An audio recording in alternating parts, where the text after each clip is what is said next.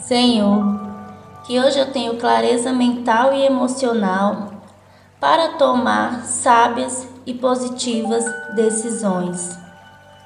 Que eu possa sempre ser grato por todos os momentos e que meu dia seja de felicidade e alegria. Amém.